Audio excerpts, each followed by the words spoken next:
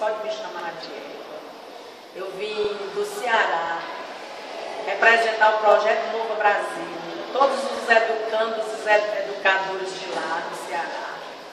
Estou muito feliz porque pude participar desse encontro do Eneja, eu participei do GT é, sobre trabalho, sobre bolsa de estudos para os educandos, para um dia eles poderem chegar a fazer um, um Enem, para chegar até onde eles precisam chegar.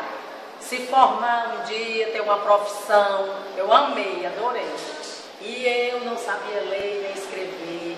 Aprendi lá no Projeto Novo Brasil, fundado por Paulo Freire. Então é, isso para mim é muito gratificante.